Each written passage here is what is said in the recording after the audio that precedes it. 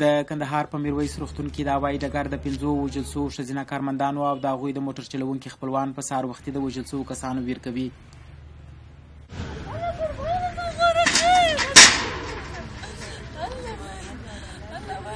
د کندهار د والي ویاند سمیم خپلواک ازادي راډیو ته وویل چې نن سهار شپږ نیمې بجې د ښار په څلورم حوزه کې د هوایي ډګر د ملکي برخې پنځه ښځینه کارکوونکي او د هغوی موټر چلوونکي د دوو نامعلومو وسلوالو لخوا ووژل شول.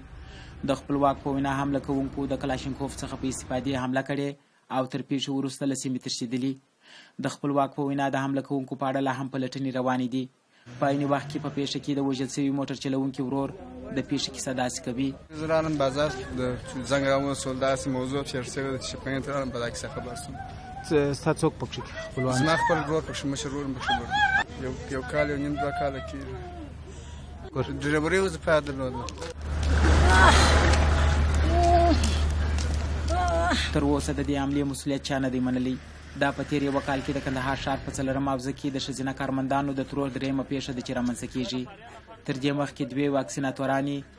او تر هغه مخکي د تورپیکۍ په نوم د یونما یوه کارکوونکې د ترور په دغه ډول پېښه کي ووژل سول.